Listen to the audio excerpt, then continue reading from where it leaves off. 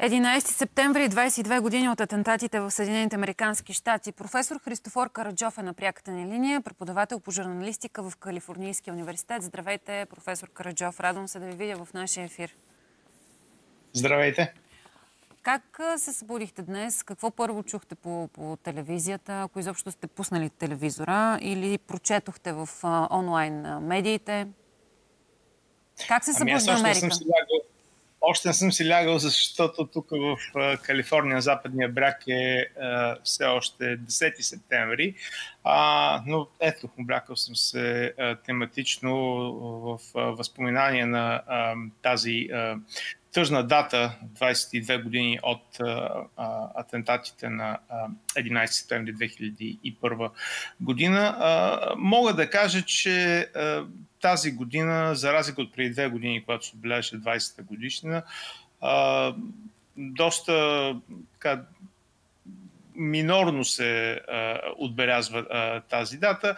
Единствената новина, която а, изкочи по края беше идентификацията на още а, две тела на загинали. Значи това са 22 години и все още 40% от тези а, близо 3000 души, които загинаха на този ден, не са а, а, идентифицирани. Но а, извън това а, има а, просто а, ден за а, а, спомняне, за припомняне на тези трагични събития. Президентът а, Байден се връща от срещата на Г-20, ще спре в една военна база в а, Аляска за а, церемония. Вице-президентът Камал Харис а, отива на а, мемориала в а, Манхатън, а, а Джил Байден, съпругата на а, президента, първата леди, ще положи венец а, на мемориала край Пентагона, където, знаете, се да. а, разби един от тези четири самолета.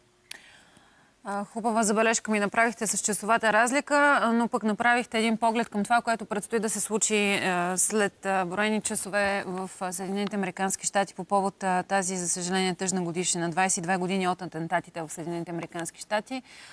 Ще ми се обаче да ви попитам, 22 години по-късно, промениха ли се и то вече може би сте свикнали всички от тези, които живеете в Съединените Американски щати с мерките за сигурност. А, може ли категорично да се каже, че на 11 септември преди 22 години всичко се промени от гледна точка на мерки за сигурност, до ден днешен? О, разбира се, много неща се промениха. Вече сме свикнали не само в Съединените щати, знаете, по цял свят. Пътуването с самолет е съвсем различно преживяване всяко преминаване през летище нали, предполага поне в Съединените щати едно доста сериозно разсъбличане, сваляне на обувки, детектори, всичко с това, с което всъщност всички ние вече сме свикнали, не само в Съединените щати, но и навсякъде по света. Нещата, с които по-трудно се свиква, беше поне в Съединените щати милитаризирането на полицейските управления, т.е. имаше огромни грантове, огромни финансови вложения от правителството да бъдат оборудвани полицейските управления, тези 18 или 19 хиляди отделни полицейски управления с всевъзможна техника, включително с броя транспортьори, всичките полицаи, които а, приличат на а, извънземни, на, на, нали, на, на бойци от а, междузвездни войни а, или нещо. Но това също стана а, а, до някъде а, обичайна гледка а, и предизвика пък и а, ответна реакция, която видяхме преди 3 години с протест срещу а, а, смъртта на Джордж Фойд през а, пандемичното лято на 2020 година. Спомням, точно заради да. това, че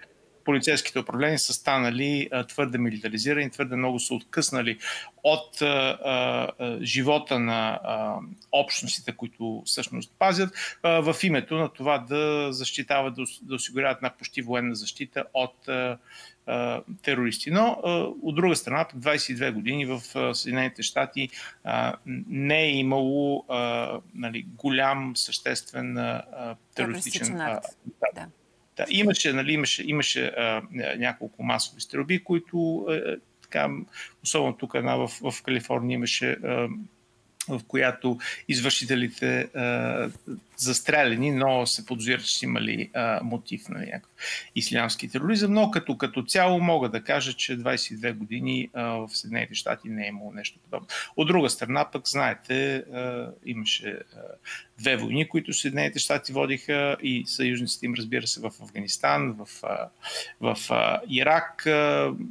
Тази в Афганистан знаете как завърши преди, преди две години с да. пълно изтегляне на западните съюзници. В Ирак също може доста какво да се каже за, за, за тази война. Трилиони долари похарчени. Какъв е резултата? Ще оставим историята до отсъд. Споменахте президента Джо Байден, че ще се прибере от Делхи след срещата на върха там на Г-20 и ще си позволя да обсъдим с вас на финала на нашия разговор и равносметката от тази среща на върха. Г-20 прия декларация, в която не осъжда изрично Русия за войната. Изненадващ консенсус, професор Караджов, така забелязахме по отношение на тази декларация. Знаем, западните страни настояваха остро да се осъди Русия заради войната в Украина. Сега виждаме обаче равносметката от декларация, в която не се осъжда изрично Русия. А, какво мислите ви? Държавният секретар Антони Блинкен, точно днес сутринта го слушах в, по една от телевизията ABC, да почти да се оправдава за това, че Съединените щати и западните съюзници се съгласиха на една доста разводнена декларация, в която Русия не е опомената по име. Говори се за важността на териториалната цялост, суверенитета, на не намесата в политическите работи на различни държави и а, всички членки на, на, на Г20, включително дипломатите от, от Русия, начало с а, а, външния министър Лавров, а, а, подписаха а, този, този документ. Как се го обяснявате а, обаче това? Как се го обяснявате? Ами, обяснявам си го с това, че, че всъщност а, политическите а, изказвания а, може би не са от а, чак такова значение. Политическите декларации, означение е това какво се прави да се помага на Украина. Ето Съединените щати по последни сметки са дали вече близо 75 милиарда долара, от които 50 милиарда са в въоръжение на, на Украина. И това Тоест, продължава. Това, това ли предстои? А може ли да се прави прогноза изобщо, понеже с вас сме си говорили от преди време, преди месеци, за това възможно ли е западните държави, свободния свят, Съединените Американски щати, както даваха заявка при визитите на, на Зеленски в щатите, в един момент от това, което изрази и президентът Джо Байден, ние ще бъдем до вас толкова време, колкото трябва. В един момент да видим едно а, леко отдръпване,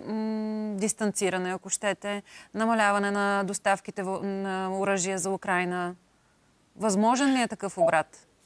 Кон- конкретно в Съединените щати сред републиканците и в много по-малка степен сред демократите, но има едно, една малко, но много активно младсинство сред републиканците, които са за изолация, за изолационизъм, против помощта за Украина, включително и един от кандидатите за президент, Вивек Рамасвап парни. Смия ги затруднява да го кажа. Казахте го, аз няма да се пробвам да го кажа.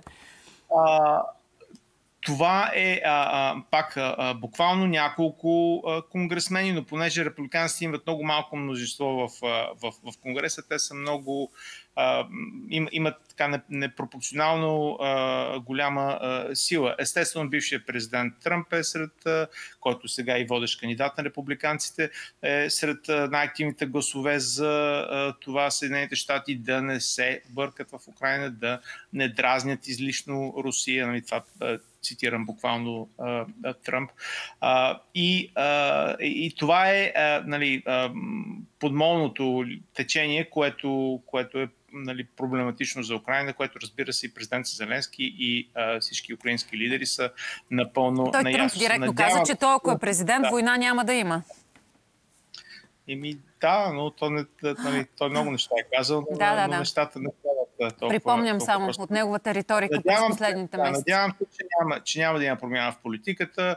А, в момента, а, знаете се, а, Съединените щати обещаха да а, доставят а, а, муниции с, с а, много по-голяма а, а, по- по-голяма обсък на действие, така наречените Атакамс, нали, F-16 самолетите, а, които ще дойдат а, през европейски партньори.